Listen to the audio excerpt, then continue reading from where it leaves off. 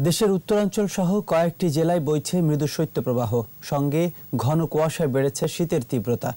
কদিন ধরে মধ্যরাত থেকে দুপুর পর্যন্ত বৃষ্টির মতো কুয়াশায় ঢাকা থাকছে উত্তরের জেলা ঠাকুরগাঁও। সঙ্গে হিমেল হাওয়া। কনকনে শীতে কাজের অভাবে বিপাকে শ্রমজীবী মানুষ। হিমেল হাওয়া আর ঘন কুয়াশায় বগুড়ায় বেড়েছে শীতের তীব্রতা। গাইবান্ধায় আবার জেকে বসেছে শীত। কয়েকদিন ধরে অনেক বেলা পর্যন্ত সূর্যের দেখা মিলছে না। তীব্র শীতে কাহিল যমুনা পাড়ের জেলা সিরাজগঞ্জের জনজীবন। নাটোরেও কয়েকদিন ধরে সূর্যের দেখা নেই।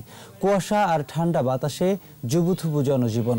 কাজের অভাবে কষ্টে দিন যাপন করছেন দিনমজুর ও নিম্ন আয়ের মানুষ। আজকে আরও বেশি কষ্ট। শীতের কারণে বাচ্চা কোচ্চার মনে করো যে বুকের দোষ হয় কাশ হয় সর্দি জ্বর হয় মাথা বিষে শীতের কারণে।